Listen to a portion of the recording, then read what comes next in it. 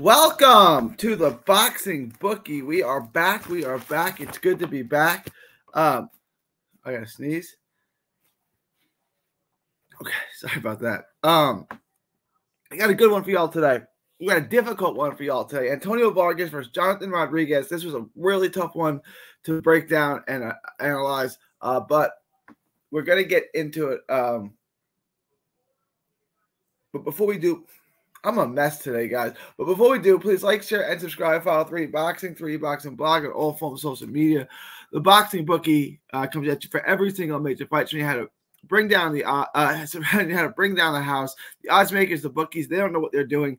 I do. Uh, we were uh, seven and, and two, I think, the last two weeks. So we're absolutely killing it. We're going to continue this week. This is, week is another home run. Um, join the Patreon as well. The Patreon gets you access to the lock of the week. You can request uh, a handicap any fight. You get a free T-shirt. All that for just five dollars a month. It's a great steal. It's a great bargain. Just five dollars a month get you all that and some. Uh, we're doing we're doing big things. We're growing the channel. Uh, this is going to be the number one uh, boxing odds podcast uh, and you're going to help it grow. Also, subscribe to the other channel, Texas Boxing Scene on YouTube. That's Texas Boxing Scene. All proceeds go to autism research and recovery. Oh, the link for the uh, for the Patreon is in the description. Please join us. Five dollars a month. You get all that and some. Uh, it's a it's a great deal. Um, let's get into let's get into the fight. Um, Antonio Vargas, 17 and 1. I went back, I watched this fight that he lost. Um, it was, I want to say 2019. Yeah, it was 2019. Hang on. I've lost it here. Uh, back. It was 2019. Uh, I'm trying to find the name. Jose Maria Cardenas was a 16 and 4 fighter. The fight was in Florida. Uh, got knocked out in the first one. It was on the card. Jamel Herring, uh, when he won his world title against uh, I, know, I know I'm to butcher the name. Ito. I'm just to say the last name. When Jamel Herring beat Ito for his world title, it was on that card. It was a while back. It was a while ago. Um,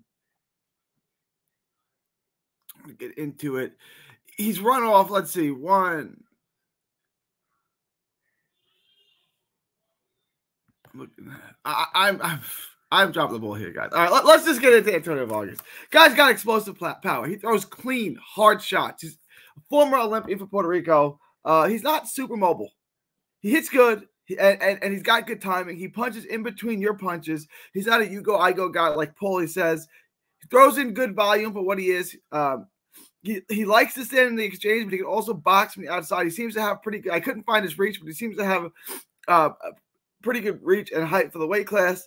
Uh, he gets a little wild and takes chances. He's a fun fighter to watch. This is going to be a firefight. Like both these fighters are going to be fun. Decent speed, good combinations. Like he's a good offensive fighter. Like that. That's really all you can say about him. He likes to come forward. I think he appears to be the bigger hitter in the punt of the do of the of the two. If you look, look at his record, what is going on here? What is going on here? I am really having technical issues today. All right. I'm back. Uh losing my brain set. If you look at his record, his knockout percentage is I think misleading. He's 17 and 1 with just nine knockouts. He he did get a knockout against Michel Banquez and against Jose Martinez recently, and then his fight with Hernan Marquez went the distance. So two of his last three wins have been by knockout. I think his power is a little underrated. He's got good footwork. He counters well. He's a really good counter puncher.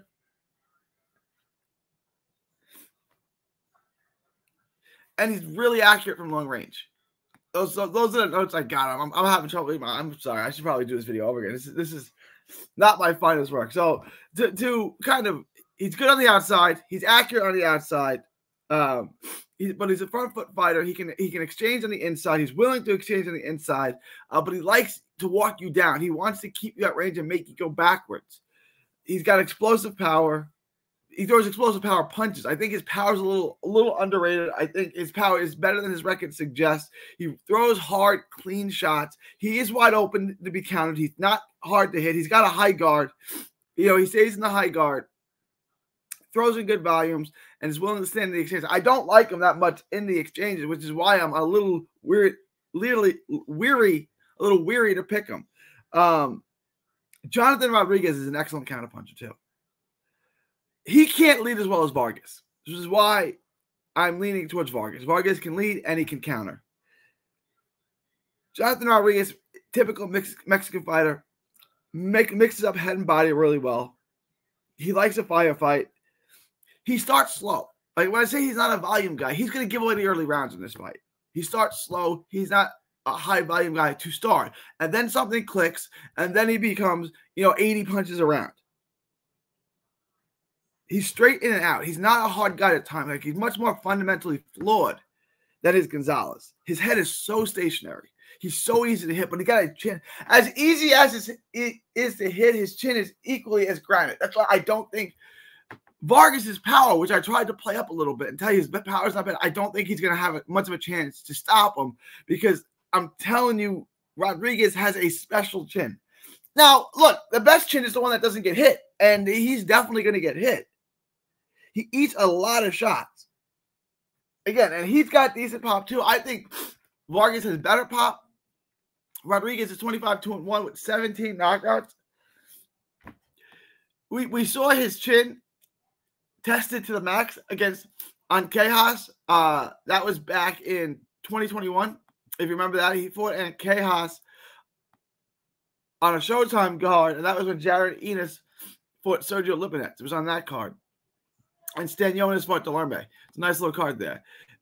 But he's too flawed. And like I did a video on Chaos, I, I don't think Chaos is very good. I'm not saying Rodriguez can't win this fight. This is a hard fight to, to make the book on. But look at his flaws, and I do think Vargas has respectable power. When he just rushes in, straight in, straight out, he's so easy to hit, despite how good his chin is.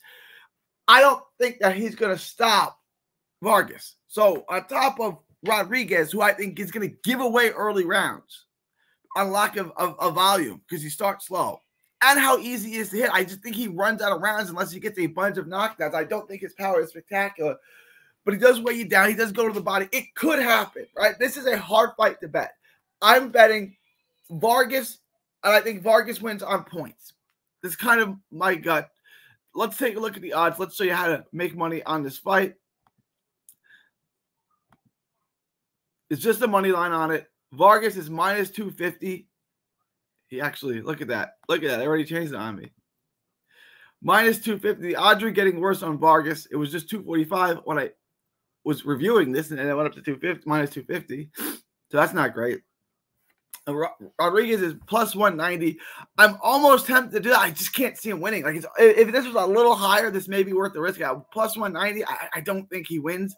I don't think it's worth the risk, but it's, a path to victory for him. I'm going to take Vargas. I think Vargas wins on points.